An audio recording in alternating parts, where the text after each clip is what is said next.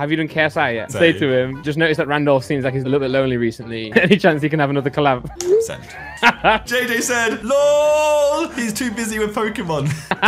Let's go. oh, no, he's nice, Stu. Look, he said he doesn't understand how talented he is in music. Now I feel bad now that we're just teasing him.